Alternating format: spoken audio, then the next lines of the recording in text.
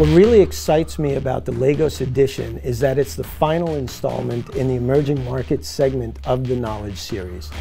What's fascinating about the Knowledge series is the different ideas that are coming out of these different destinations. We've been to Mumbai, we've been to Riyadh, and we've collected so many thoughts and ideas on transformation in the legal industry.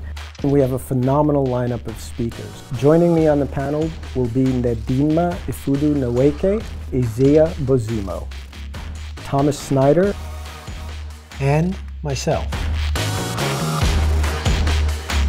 And we really do want this discussion to keep happening offline, away from the actual event. It's really about building this global network and having everyone participate and learn from each other.